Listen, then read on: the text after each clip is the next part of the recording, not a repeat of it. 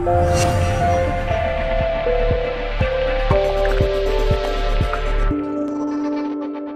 Yo soy el presidente de la subcomisión de fútbol, este, abarcando todas las categorías, primera, reserva y inferiores. ¿Cómo es un poco la historia futbolística de este Belgrano de San Antonio, por lo menos de los últimos tiempos? ¿En qué categoría participaban? ¿Cómo pasaron después esta categoría? Claro, bueno, nosotros estamos debutando en la categoría. Nosotros siempre eh, hemos jugado en el grupo C de la Liga Rafaelina.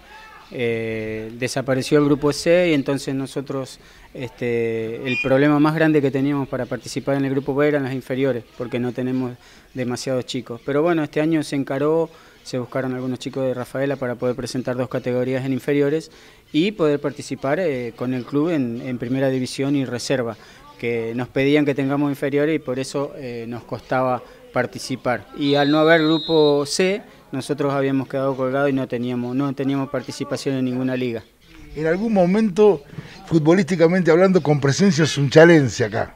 Sí, sí, sí, sí, han venido jugadores, acá han pasado muchos jugadores de, varias, de varios lugares, de, Rafaela, de Sunchales, han venido gente de Santa Fe a jugar en, en, estos grupos, en estos grupos cuando estábamos en el grupo C, se han armado equipos muy buenos.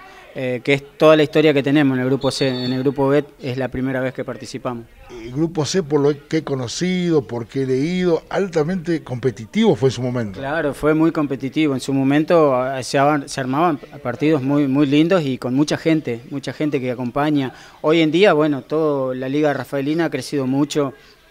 Equipos como Roca, como Bella Italia, como bueno, Egusquiza, Aurelia, que están participando todos en el grupo B, antes participaban del grupo C. Mientras estaban dentro del grupo C, eh, ¿con qué objetivos y expectativas entran al grupo B y un poco qué es lo que pretenden? Claro, nosotros eh, era diferente. En el grupo C nosotros participábamos y había equipos en los que llegábamos a estar peleando los torneos, inclusive se ha salido campeón, se han ganado torneos clausura y apertura.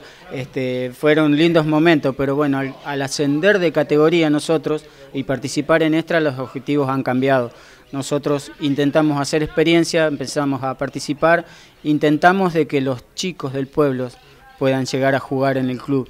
Y este, eh, con un presupuesto acotado no tenemos este, eh, demasiada infraestructura ni gente que apoye eh, desde lo económico. Entonces nosotros nos tratamos de arreglar con lo que tenemos. Hay dos o tres chicos que vienen a participar y a jugar con un compromiso grande porque conocen a la gente de San Antonio, entonces por eso vienen a, jugar con nosotros.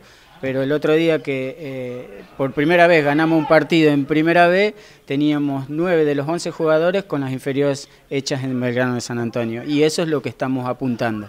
Beto, y esta es la, esta es la última que te hago en esta experiencia, en este debut, en esta participación, si es que hay algo que te ha sorprendido de la primera vez, ¿qué te sorprendió?